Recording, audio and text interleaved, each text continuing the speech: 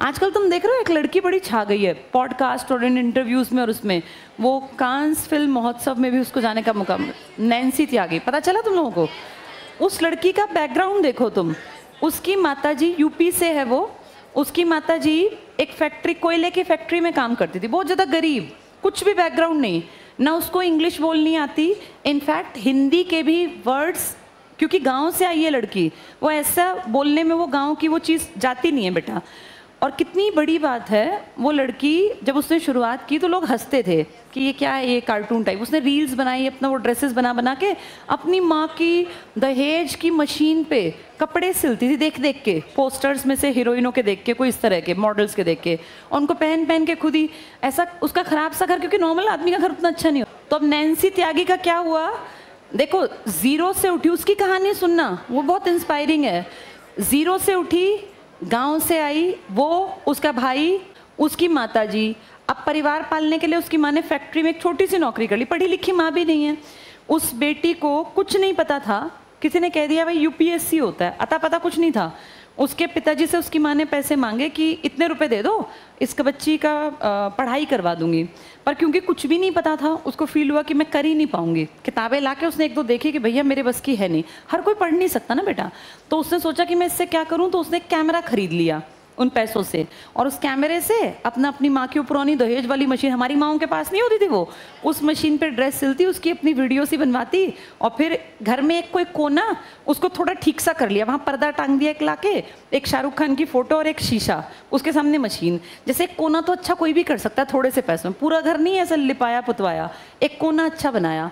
उसकी वीडियोज़ देख के लोग हँसते। मज़ाक उड़ाते, क्या है ये? क्या कार्टून है ये वो? स्टार्टिंग ऐसे हुई। वो कह रही थी, लगभग मेरी सौ वीडियोस पे ऐसे ही कमेंट्स आते नेगेटिव कोई वायरल वायरल नहीं हुई फिर अचानक से उसकी एक कोई वीडियो चल पड़ी। अब वो इतनी वायरल हो गई कि लोगों ने उसको पसंद किया। उसको फिर एक मोटिवेशन मिला। फिर उसने अगली वीडियो अगली वीडियो अगली वीडियो अब वीडियो चली तो पैसे आए। भाई सोशल मीडिया तो चलने का मतलब पैसे आना। उस पैसे से उसने अलग तरह के कपड़े खरीदे। फिर उसने एक वो बना लिया कि मैं रोज़ कपड़े खरीदूँगी, रोज़ मतलब जब भी हफ़्ते में एक दो बार, और पूरी शॉपिंग को अपनी को दिखाऊँगी, ऑटो में बैठ के जाती। खराब सा उसका कोई बहुत सुंदर घर नहीं था। सबसे सस्ते बाज़ार में जाती, वहाँ से कपड़े लेती, और ऐसा कपड़ा तो बहुत सस्ता था। जैसे नहीं, खुलने में ऐसे कपड़े रखे होते हैं। और फिर उनको ला डिज़ाइन करती, देख के।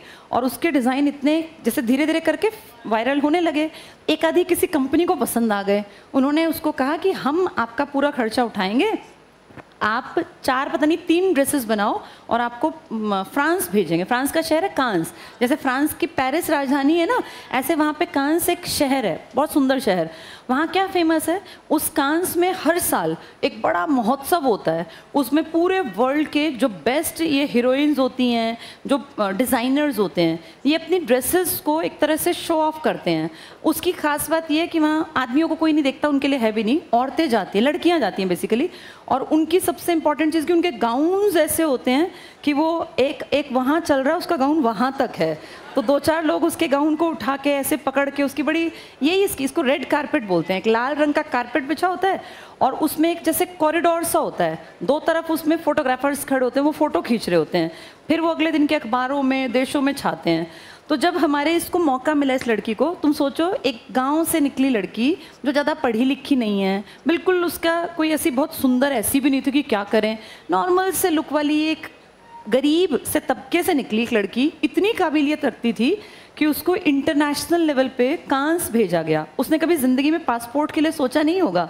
फिर उसका पासपोर्ट बना, सारी फॉर्मेलिटीज़ हुई, वहाँ पहुँच गई। और जब उसने अपनी पहली ड्रेस पहनी, वो लाइट पिंक कलर की तो वो इतना सुंदर गाउन था, वो सबकी नज़रों में आ गई। और सबने उसको कवरेज दी, क्योंकि वो इतना भारी था, उसमें शायद हज़ार मीटर कपड़ा उस लड़की ने लगाया। एक हज़ार मीटर कपड़ा। नॉर्मल इंसान का कपड़ा तीन, चार, पाँच मीटर में बन जाता है। उसने हज़ार मीटर कपड़ा लगाया, लेकिन अगर वो ऐसा ना करती तो न्यूज़ में कैसे आती? उसने इतना सुंदर डिज़ाइन किया वो, उसको देख के सबकी आँखें खुली रह गई और पूरे इंटरनेशनल लेवल पे उसको कवरेज मिली। उससे वहाँ क्वेश्चन पूछा गया तो उसने प्रॉपर अपनी हिंदी और देसी लैंग्वेज के वर्ड्स का इस्तेमाल किया। ये बहुत बड़ी बात थी। जैसे नॉर्मल आदमी ना बाहर जाके थोड़ा सा कॉम्प्लेक्स खाता है, सोचता है जैसी आती है टूटी फूटी अंग्रेज़ी ही बोलूँगा। उसने ये बिल्कुल नहीं सोचा। उसने एक वर्ड भी इंग्लिश का नहीं बोला और जब उसके सामने माइक आया तो उसने बिल्कुल प्रॉपर जो अपनी लैंग्वेज है ना उसकी, उसमें आंसर्स दिए। चाहे वो ड्रेस से संबंधित थे, कितने मीटर का कपड़ा लिया, आप कहाँ से हैं? और बिल्कुल फ्रेंक होके। कहते हैं, जो मन से साफ़ होता है ना, ईश्वर उसका साथ देता है। उसकी मेहनत को ईश्वर देख रहा था। वो लड़की वहाँ तीन या चार दिन उसने वो अलग अलग ड्रेसेस पहनी और हर ड्रेस उसकी वायरल हो गई। फिर इंडिया में उसको कवरेज मिली। एक तरफ़ वहाँ ऐश्वर्य राय गई हुई थी, वो तो हर साल ही जाती है। उनके साथ कितने डिज़ाइनर्स और कैसे गाड़ी भर भर के लोग जाते हैं। ऐश्वर्य राय की ऊपर पैसा लगाना कोई बड़ी बात नहीं है बेटा, उसके लिए कोई नॉर्मल बात है। लेकिन उस लड़की का उसके लेवल पे पहुँचना, जिस शो में रेड कारपेट पे ऐश्वर्य राय चल रही है, उसी कारपेट पे नैन्सी त्यागी भी चली। ये पूरे इंडिया के लिए भी प्राउड की बात थी कि एक गरीब से तबके से निकली वो लड़की कहाँ चली गई। अच्छा उसका फ़ायदा क्या मिला? वहाँ तो फ़ेमस हुई, वापस आई तो इंडिया में भी यहाँ इंडिया में तो ये है ना, जो दुनिया में छा गया, उसके फिर पीछे इंडियंस भी पड़ जाते हैं। तो उसको वो, कौन है वो एक पॉडकास्ट करता है? अलाहाबादिया करके उसका नाम है। रणबीर अलाहाबादिया।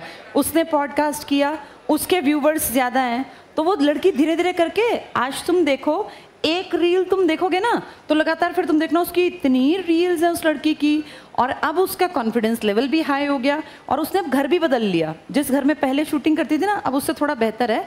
और अब जैसे उसका मैं सुन रही थी इंटरव्यू तो उसने कहा कि, उसने पूछा, भाई, सबसे पहले आपकी क्या इच्छा है? तो उसने कहा, मैं सबसे पहले अपनी माँ का काम छुड़वाऊँगी, क्योंकि मेरी माँ जो है ना, जिस फैक्ट्री में जाती थी, कोयले का काम होता था बेटा वहाँ, दिल्ली के किसी, ये सीलमपुर वगैरह के इलाके में।